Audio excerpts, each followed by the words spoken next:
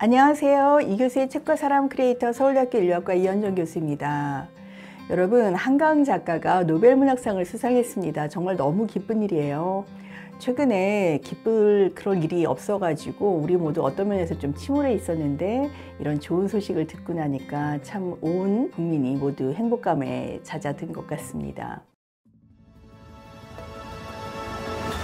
저는 개인적으로 채식주의자, 소년이 온다, 작별하지 않는다 세 권만 보더라도 한강 작가가 충분히 노벨문학상을 수상하기에 부족함이 없다고 생각을 해왔고요. 그리고 예전에 작별하지 않는다를 어, 이 교수의 책과 사람에서 방영한 적이 있었고 그 책을 제가 한강의 책 중에서 가장 좋아한다고 그리고 어떤 보편적인 그런 의미로 승화시켰다는 그런 이야기를 했던 기억이 있습니다. 정말 신기했었던 거는요. 제가 한강 작가의 노벨문학상 수상 소식을 채식주의자로 북클럽을 운영하던 그 시간에 들었다는 겁니다. 어, 채식주의자에 대해서 이야기를 하고 있는데 북클럽에 참여하신 누군가가 어, 한강이 노벨 문학상을 수상했어요. 라고 해서 제가 깜짝 놀랐어요. 어, 이건 정말 무슨 우연인가 했습니다. 북클럽 이야기가 나왔으니까 혹시 저와 함께 북클럽에 참여하고 싶으신 분은 ican.co.kr 아이캔 유니버스로 들어오셔서 북클럽을 찾으시면 가입하실 수 있습니다. 두 달씩 운영하고 있고요. 11월에 새로 시작하는데요. 매번 주제를 가지고 두 달에 책 4권씩 읽습니다. 11월부터는 가족에 대한 주제로 운영할 예정이니 많은 참여 부탁드려요. 그러면 오늘은 한강의 채식주의자에 대한 이야기를 나눠보고자 합니다. 채식주의자는 모두 세 편의 중단편이 연결되어 구성되어 있는 연작소설의 형태를 취하고 있습니다. 각각의 제목은 채식주의자, 몽고 반점, 그리고 나무 불꽃으로 각각이 다 그 문예지에 게재되었었던 그런 작품인데요. 영해라는 주인공이 등장하지만 영해는 사실 이 세 편의 글에서 직접 목소리를 내는 화자는 아니고 화자는 채식주의자에서는 영해의 남편 그리고 몽고반점과 나무 불꽃에서는 전지적 작가 시점으로 3인칭으로 쓰여져 있습니다. 그럼 먼저 맨 처음 도입 부분을 한번 읽어보고자 해요. 이 도입이 어떻게 느껴지는지 한번 어, 보시기 바랍니다. 아내가 채식을 시작하기 전까지 나는 그녀가 특별한 사람이라고 생각한 적이 없었다. 솔직히 말하자면 아내를 처음 만났을 때 끌리지도 않았다.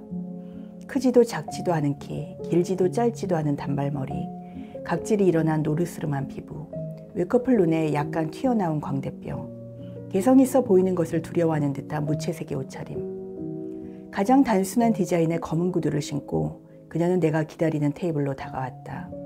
빠르지도 느리지도 힘있지도 가냘프지도 않은 걸음걸이로. 내가 그녀와 결혼한 것은 그녀에게 특별한 매력이 없는 것과 같이 특별한 단점도 없어 보였기 때문이었다. 신선함이나 재치, 세련된 면을 찾아볼 수 없는 그녀의 무난한 성격이 나에게는 편안했다. 굳이 그녀의 마음을 사로잡기 위해 박식한 척할 필요가 없었고 약속 시간에 늦을까봐 허둥대지 않아도 되었으며 패션 카탈로그에 나오는 남자들과 스스로를 비교해 위축될 까닭도 없었다. 20대 중반부터 나오기 시작한 아랫배, 노력해도 근육이 붙지 않는 가느다란 다리와 팔뚝, 남모를 열등감의 원인이었던 작은 성기까지 그녀에게는 그다지 신경 쓰이지 않았다. 언제나 나는 과분한 것들을 좋아하지 않는 편이었다. 어린 시절에는 나보다 두세 살 어린 조물애기들을 거느리고 다니며 골목대장 노릇을 했고 자라서는 넉넉히 장학금을 받을 수 있는 대학에 지원했으며 내 대단찮은 능력을 귀하게 여겨주는 작은 회사에서 내세울 것 없는 월급이나마 꼬박꼬박 받을 수 있다는 데 만족했다. 그러니 세상에서 가장 평범한 여자로 보이는 그녀와 결혼한 것은 자연스러운 선택이었다. 예쁘다거나 총명하다거나 눈에 띄게 요염하다거나 부유한 집안의 따님이라거나 하는 여자들은 애초부터 나에게 불편한 존재일 뿐이었다. 내 기대에 걸맞게 그녀는 평범한 아내의 역할을 무리 없이 해냈다. 아침마다 6시에 일어나 밥과 국, 생선 한 토막을 준비해 차려주었고 처녀 시절부터 해온 아르바이트로 적으나마 가게에 보탬도 주었다. 1년간 다닌 적이 있다는 컴퓨터 그래픽 학원의 보조 강사로 일했고 출판 만화의 말풍선에 대사를 쳐넣는 하청리를 받아 집에서 작업했다. 아내는 말수가 적은 편이었다. 나에게 무엇인가를 요구하는 일은 드물었고 내 귀가 시간이 아무리 늦어도 관여하지 않았다. 어쩌다 함께 있는 휴일에 어딘가로 외출하기를 청하지도 않았다. 내가 오후 내내 텔레비전 리모컨을 쥐고 뒹구는 동안 아내는 자신의 방에 틀어박혀 있었다. 아마도 일을 하거나 책을 읽는 모양으로 아내의 취미라 할 만한 것은 기껏 책 읽기 정도였는데 그 책들이란 대부분 표지를 열어보기도 싫을 만큼 따분해 보이는 것들이었다. 끼니 때에만 문을 열고 나와 말없이 음식을 만들었다. 사실 그런 아내와 산다는 게 그다지 재미있는 일일 리는 없었다. 그러나 하루에도 몇 번씩 직장 동료나 친구들의 휴대폰을 울려대는 아내들, 주기적으로 바가지를 긁어 요란한 부부싸움을 벌이곤 한다는 아내들이 피곤하게 느껴지던 터였으므로 나는 감사히 여겼다. 너무나 평범하고 특별한 매력이 없어서 결혼했다는 남편의 고백. 어떻게 느끼셨나요? 여기에서부터 알 수 있듯이 결혼 속에서 영애는 존재감이 없었던 사람입니다. 남편에게 영애는 그저 아침이면 밥을 정갈하게 차려주고 약간의 경제적 도움을 주며 집에 늦게 들어와도 불평하지 않고 가끔 맛있는 고기 반찬을 해주는 그리고 원할 때 성관계를 할 수 있는 사람이었습니다. 이처럼 남편에게 영애는 어떤 인간적 존재로서 의미를 가지고 있었다기보다 자신이 필요한 아내라는 역할을 수행하는 일종의 도구적인 존재였던 것이죠. 읽는 사람들 중에는 너무나 평범하고 특별한 데가 없어서 영애와 결혼했다는 그 부분을 자연스럽게 받아들이는 경우도 있지만 사실 그것이야말로 어떤 면에서 한 인간을 대하는 자세로서는 폭력적인 시선일 수 있습니다. 채식주의자는 간단히 말하자면 강력한 사회적 규범, 이른바 가부장적 사회구조의 고통을 겪는 한 여성이 그 구조를 벗어나려고 몸부림치는 이야기라고 할 수 있습니다. 영의 아버지는 베트남 전 참전 용사로 여러 사람을 죽였다는 것을 자랑스럽게 이야기하는 사람입니다. 영애가 어렸을 적에는 손찌검을 하기도 했죠. 무엇보다 집에서 키우던 개가 영애를 물었을 때 아버지는 그 개를 혼내준다고 오토바이 뒤에 묶어서 마을을 몇 바퀴를 돌면서 개가 마침내 거품을 물고 쓰러져 갈 때까지 끌고 다닌 뒤 그 개를 삶아서 먹는 사람입니다. 그때 개와 눈이 마주쳤던 영애. 그러나 영애도 아버지가 시키는 대로 그 개를 같이 먹었습니다. 그때만 하더라도 그리고 이후에 남편과 결혼하면서 사는 동안에도 영애는 어떤 면에서 가부장적 폭력의 구조 속에서 순응하고 타협하면서 살아왔었던 것이죠. 그런 영애가 어느 날부터 꿈을 꾸기 시작했는데 그 꿈은 자신이 무언가를 살해하고 피가 뚝뚝 흘리는 날고기를 씹으며 옷이 피에 가득 젖은 모습입니다. 그런 꿈은 매일같이 계속되고 영애는 그때부터 고기를 먹지 않게 됩니다. 냉장고의 고기들을 모두 버리고 남편에게도 고기 반찬을 더 이상 차려주지 않습니다. 여기서 영애가 결정적으로 변하게 된 하나의 계기를 소개하고자 합니다. 책에 나온 부분을 발췌해서 읽도록 하겠습니다. 그 꿈을 꾸기 전날 아침 난 얼어붙은 고기를 썰고 있었지. 당신이 화를 내며 재촉했어. 제기랄, 그렇게 꿈을 대고 있을 거야? 알지. 당신이 서두를 때면 나는 정신을 못 차리지. 다른 사람이 된 것처럼 허둥대고, 그래서 오히려 일들이 뒤엉키지. 빨리, 더 빨리. 칼을 쥔 손이 바빠서 목덜미가 뜨거워졌어. 갑자기 도마가 앞으로 밀렸어. 손가락을 벤 것. 식칼에 이가 나간 건 그 찰나야. 검지 손가락을 들어올리자 붉은 핏방울 하나가 빠르게 피어나고 있었어. 둥글게, 더 둥글게. 손가락을 입속에 넣자 마음이 편안해졌어. 선홍빛의 색깔과 함께 이상하게도 그 들큼한 맛이 나를 진정시키는 것 같았어. 두 번째로 집은 불고기를 우물거리다가 당신은 입에 든 걸 뱉어냈지. 반짝이는 걸 골라들고 고함을 질렀지. 뭐야 이건 칼 조각 아니야? 일그러진 얼굴로 날뛰는 당신을 나는 우두커니 바라보았어. 그냥 삼켰으면 어쩔 뻔했어. 죽을 뻔했잖아. 왜 나는 그때 놀라지 않았을까? 오히려 더욱 침착해졌어. 마치 서늘한 손이 내 이마를 짚어준 것 같았어. 문득 썰물처럼 나를 둘러싼 모든 것이 미끄러지듯 밀려나갔어. 식탁이, 당신이, 부엌의 모든 가구들이 나와 내가 앉은 의자만 무한한 공간 속에 남은 것 같았어. 다음날 새벽이었어. 헛간 속의 피용동이 거기 비친 얼굴을 처음 본 건. 얼어붙은 고기를 썰다가 손을 베었지만, 그리고 남편의 독촉 속에서 빨리 썰다가 그랬지만, 그리고 그래서 칼날이 나갔지만, 아내의 다친 손에 대해서는 조금도 생각지 않고, 오로지 자신의 입속에 잘못 들어간 칼날에 대해서만 화를 내는 남편. 그때 영애는 서늘함을 느끼게 됩니다. 받아들이는 것이죠. 현실이 무엇인지 그리고 보게 됩니다. 헛간 속의 피 웅덩이 거기 비친 자신의 얼굴 즉 이때부터 영애는 드디어 피웅덩이 속에 있는 자기 자신을 바라보는 또 다른 자기 자신을 만나게 되는 것입니다. 그동안 남편에게 그저 순응하면서 살았던 그 삶이 이제는 멀리 떨어져서 보이면서 자기 자신과 분리되게 되는 것이죠. 가부장적인 폭력 혹은 이 사회에서 강요되는 규범들은 가족을 중심으로 어느 한 곳 빠져나갈 수 없이 진행됩니다. 영애가 고기를 먹지 않고 말라간다고 남편이 말하자 가족들이 모두 모인 자리에서 아버지는 억지로 영애 입에 고기 조각을 넣으려고 시도하고 그것이 실패하자 뺨을 때립니다. 어머니와 언니는 그러는 아버지 옆에서 영애에게 고기를 먹으라고 계속해서 권합니다. 가족의 평화를 위해 혹은 기존의 사회적인 규범 속에서 영애에게 따르라고 강제하는 힘들을 보여줍니다. 결국 영애는 가족들 앞에서 자기 팔목에 칼을 긋게 되고 병원에 입원합니다. 그러나 그 와중에도 영희에게 흑염소 약을 사다 주면서 먹으라고 하는 어머니의 모습은 이 가부장적 폭력 구조가 어떻게 여성들에 의해서도 지지되고 타협되면서 강화되고 있는지를 보여줍니다. 어머니의 이야기를 잠깐 들여다보죠. 너 이게 얼마짜린 줄 아냐? 이걸 버려? 네 애미 애비 피땀이 어린 돈이다. 네가 그러고도 내 딸이냐? 허리를 굽힌 채 문간에 선 아내를 역류하여 링거액 주머니 속에 흘러드는 그녀의 붉은 피를 나는 보았다. 네 꼴을 봐라 지금.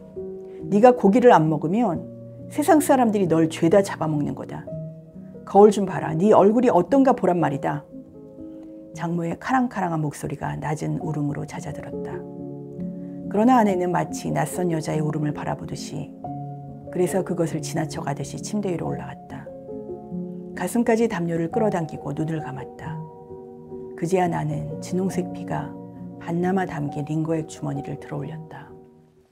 두 번째 글 몽고 반점은 영혜의 언닌 인혜의 남편, 다시 말해 영혜의 형부가 영혜를 자신의 예술적 욕망을 위해 이용하는 이야기로 구성됩니다.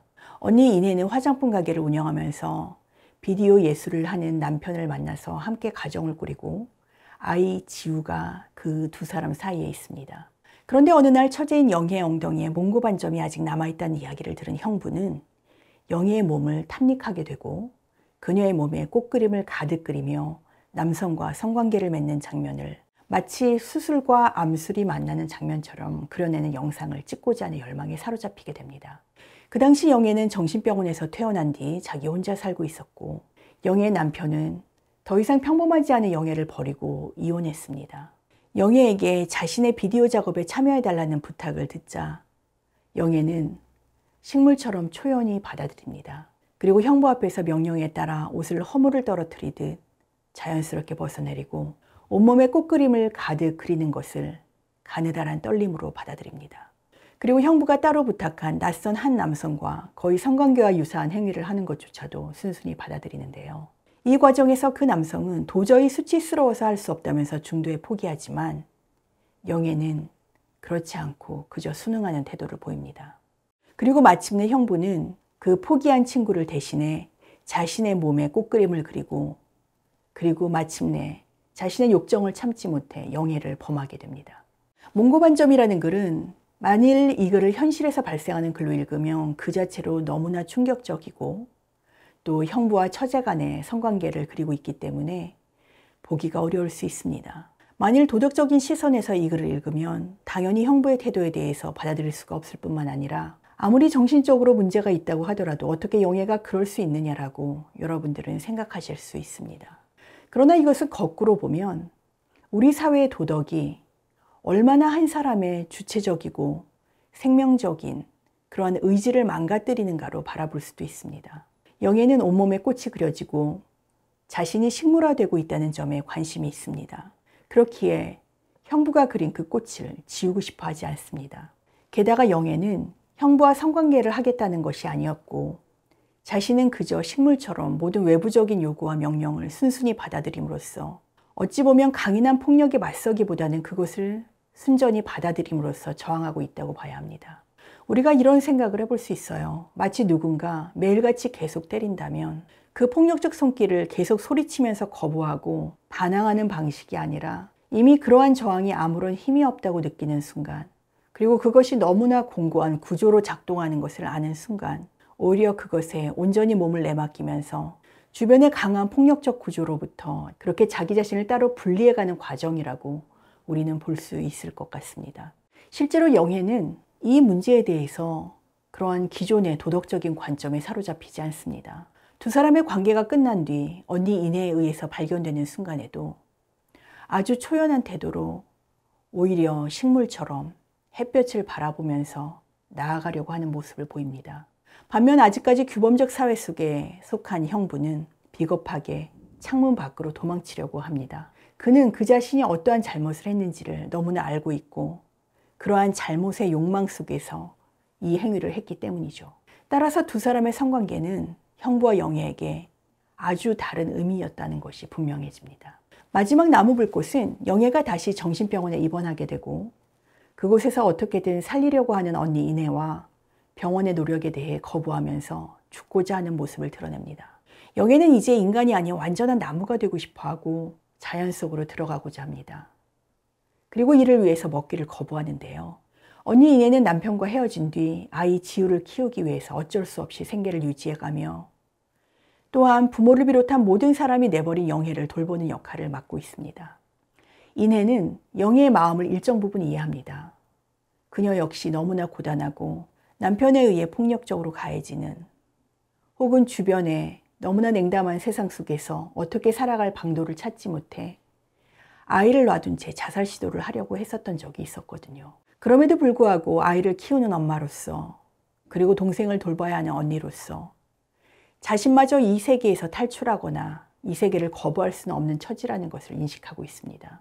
따라서 마지막 나무 불꽃은 한편으로 영의 고통, 자사람으로서 이 규범적이고 폭력적인 세계를 탈출하고자 하는 영예의 모습을 보여주지만 동시에 그러한 영예를 돌볼 수밖에 없는 어떤 면에서 아이를 키우기 때문이라도 규범적 세계 속에서 타협해야만 살아갈 수 있는 또 다른 여성, 이내의 모습을 그려내고 있습니다. 이 책에서 알 수 있듯이 가부장적 사회 구조는 단순히 남성 대 여성의 모습으로 분리될 수 있는 것이 아닙니다. 그것을 직접적이고 공격적으로 행하는 남성들의 존재가 있다면 그 구조 속에서 타협하거나 심지어 지지하면서 살아가는 여성들이 존재합니다. 영의 어머니의 경우가 대표적인 예라고 할 수 있겠죠. 그러나 만일 그러한 강력한 규범이 나 자신을 소멸시키고 심지어 나 자신을 원치 않는 폭력의 참여자 혹은 방관자가 될 수밖에 없도록 만든다면 우리는 어떻게 해야 하는 것일까요? 그 고통을 도저히 견딜 수 없다면 한강의 채식주의자는 그처럼 견딜 수 없었던 한 여성의 모습을 통해 우리 사회의 폭력적인 모습을 비추고 있을 뿐만 아니라 그 폭력에 의해 희생당하고 있는 평범한 약자들의 고통을 섬세하게 살펴보고 있다고 할 수 있습니다. 네, 채식주의자 쉽지 않은 소설입니다. 세 편의 중단편으로 이어져 있는 연작 소설이고요. 이 세 편을 다 읽을 때 여러분들이 전체적인 그림을 좀 더 이해하실 수 있는데요. 물론 첫 편만 보더라도 여러분들이 그 폭력과 폭력 속에서 아파하는 고통의 모습을 또 발견하실 수도 있습니다. 여러분들을 이번에 채식주의자를 한번 읽어보시는 건 어떨까요? 사실 편하게 읽을 수 있는 책은 아니지만 이 책은 한강의 작품 중에서 어찌 보면 가장 통렬하게 충격적이고 또 우리의 폭력과 고통의 문제를 가장 날카롭게 표현하고 있는 작품이 아닐 수 없습니다. 한번 기회가 되시면 이 책을 읽어보시길 바라겠고요. 저는 다음 시간에 또 여러분들을 만나 뵙도록 하겠습니다. 오늘 영상이 좋으셨다면 좋아요, 구독, 알림 설정 부탁드리겠고요. 저는 다음 시간에 여러분들을 만나 뵙겠습니다. 감사합니다.